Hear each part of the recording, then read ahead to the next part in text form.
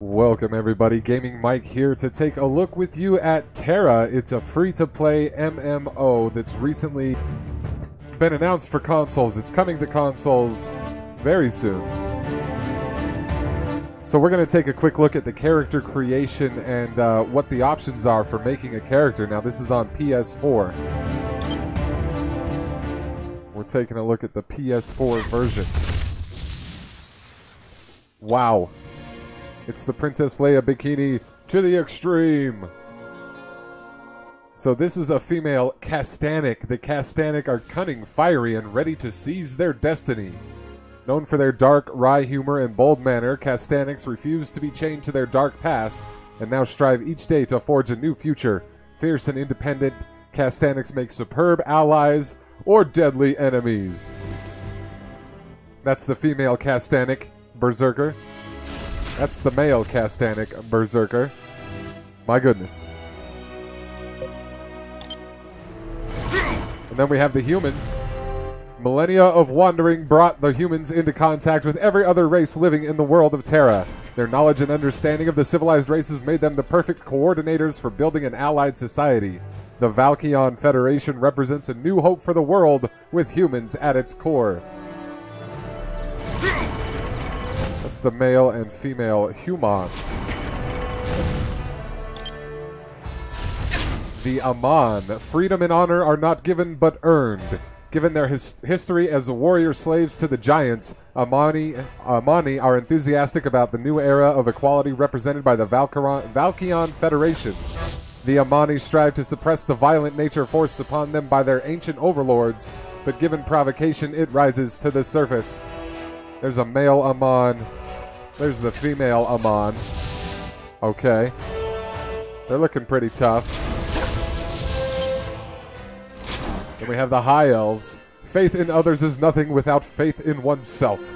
High Elves are eager to prove themselves trustworthy allies of the Federation. No one questions their skills, but some question their hearts. The elves strive to overcome their own xenophobia, acquired in the aftermath of an all too recent war. My goodness. There's the female elf. There's the male elf. I don't think I can change the camera angle on those at all. Oh well. Oh, Popori! Nature is eternal. Popori are nature. Nature guardians awakened by the Elins, the Poporis live harmoniously in the natural world. Their diminutive stature and warm fuzzy appearance belies their instinctive ferocity in battle. They may walk upright, but their emotion and instincts are closer to the animals they once were. Confident and unashamed, Poporis rarely feel guilt, embarrassment, or sadness. They don't have genders. That's the Popori. That's adorable. The Elin, innocent waifs on the outside, immortal spirits on the inside. Never aging, the wise and battle-worn Elins still appear as vulnerable and innocent as their goddess was in the moment of their creation. Also known as the Daughters of Elinu, these divine spirits are committed to upholding their goddess's dream, keep nature safe no matter the cost. Okay. Little magic creatures, and they made the Popori. Okay, they don't have a gender either. The Baraka. Knowledge reveals past, focuses present, present, kindles future. A peaceful and noble race, Barakas are nonetheless ferocious in defense of the weak. They are descended from giants, though they have rejected the giants' lust for conquest. Their imposing presence conceals the true strength of their minds. Baraka are giants in intellect as well as physicality. Ooh, that sounds fancy. So those are the races available. Let's take a look at some plain old vanilla humans and uh, go over to the classes. First class is Berserker. Berserkers are constantly in motion and excel in multiple opponent situations, both as part of a group and solo. They use charge-up attacks to deal massive damage and can also block incoming frontal attacks at level 65. This blocking capability is expanded to full tank status. Wow. Archers sustain DPS ranged light armor. Archers are a highly mobile ranged combatants. By channeling arcane energy into bows, archers create a wide range of damaging effects. Archer skills can poison, slow, stun, and trap targets, giving them advantages in any encounter. And we've got the Lancer. Mitigation tank melee heavy armor. Lancers are heavily armored fighters focused on anchoring a battle. They generate maximum threat with shouts and special attacks, sacrificing movement and attack power for the best durability in the game. The Lancers are your super tanks. Uh, the Priest. Healer buffs ranged robes. Priests are spellcasters whose primary role is to restore health and vitality. However, they are not to be taken lightly. The same power that revives allies can be used to smite foes. Alright. Mystic, healer, support, ranged, robes. Mystics are strong healing class with skills to protect and support their group. Mystics also summon powerful thralls to assist and heal them in battle. So mage, mage class. Slayer, burst, DPS, melee, and light armor. Agile fighters who are uh, who use a devastating greatsword. High damage attacks combined with evasive maneuvers for dynamic combat style. Slayer skills are quick, precise strikes that knock over and incapacitate even the largest foes, leaving them vul vulnerable for additional attacks. What else? Warrior. Evasion tank or sustained DPS, melee, and light armor. Quick attacks and high mobility make warriors essential to group play, but also very survivable, survivable while soloing. For tanking, warriors use their defensive stance, cross parry, and aggro generating attacks and shouts. In a DPS role, warriors use assault stance, which increases power and endurance. That's the warrior class. And sorcerer. Sorcerers are spellcasters focused on annihilating enemies with high damage nuke attacks. The mobile artillery of TERA, a sorcerer's job is to kill things quickly. When grouped up, their skills decide which enemy dies first. Wow. Brawler, mitigation tank, melee, heavy armor. Quite an outfit. Brawlers are fast, solidly armored, hand-to-hand combatants built for clo uh, close-in fighting.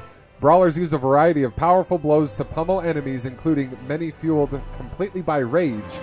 Brawler skills concentrate on dealing damage, but lots of Brawler attacks knock enemies around the battlefield. Now the Brawler class... Oh, whoops, whoops, whoops. One moment.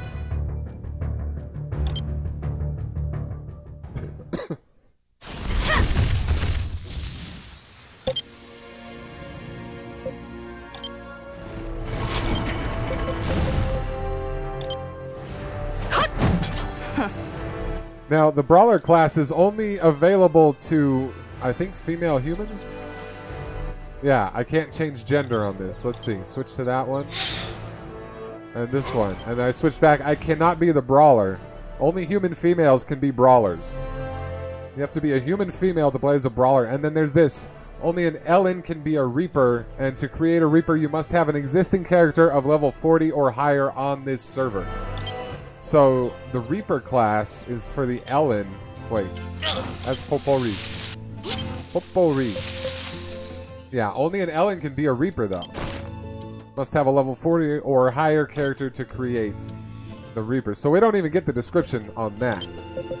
There are a few race and class specific classes. But let's go ahead and make ourselves a male. Actually, you know what? For this game. No, let's stick with a human. Let's make a basic human. What was this? The warrior. We're just going to go human warrior and uh, complete there. And then you can customize. So here in the character creation, uh, you can customize all kinds of things. Different looks. Let's see. Presets. Choosing a preset will return custom settings to the defaults. Confirm you want to select a preset. So there's all these different preset characters. Wow. Well, I like this grizzled old dude. How many presets do they have? They have 20. 20 different presets to choose from. Let's see. And then features, you can change the hair and things. Can I give him green hair? I can.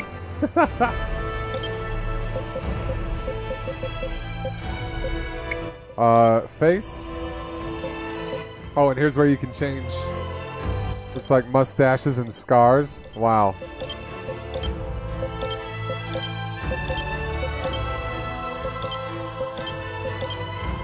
This guy.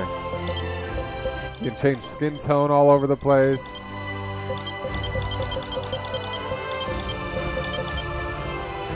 so that's cool. Adornments. What are these? Tattoos, makeup, and adornments. His hair's getting in the way. There's some eye makeup. Some scars on his eyes. Dark circles. Oh, nice tattoo in his forehead. A little bit Charles Manson-y. Scars. Fine details. Look at that. Bone structure. You can change the brow, cheekbones, jaw, jaw width, jaw jut. Don't mean butt if it ain't got that jut. You know what I mean? We're going to go full jut. We're going to go full jut. Yeah. Yeah. All right. You can change the eyes. Width, shape, height, separation, angle, inner brow, outer brow. Fully adjustable. Pretty customizable. Nose, it's got extension, size, bridge, nostril width, tip width, nose tip, nostril flare, and bend. Wow. Mouth position, mouth width, lip thickness, gape, pucker, mouth corners, all the good customization options. Ears, rotation, extension, trim, and size. Wow, wow, wow. That's a lot. And then that's wow. Let's go outfit. Oh wow. Look at him, so regal. This is just previewing in various gear. Some nice gear though. And voice.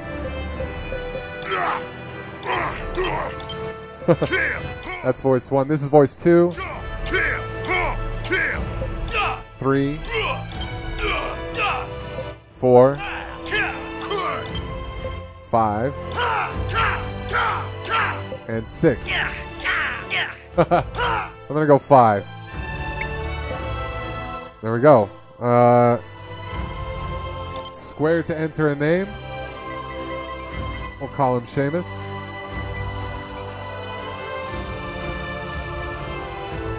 And there you have it. Character created in TERA. So, this is a game I'm going to be looking into on the channel. Feel free to join me in the live streams. I stream regularly Mondays, Wednesdays, and Fridays at 11 p.m. Eastern Standard Time. Um, I might be trying this on an upcoming stream. I do stream randomly other than that, though, so be sure to subscribe. Hit the bell button if you want to get notified when I go live. Watch for the TERA streams on the channel. And thanks for watching this one. Bye-bye.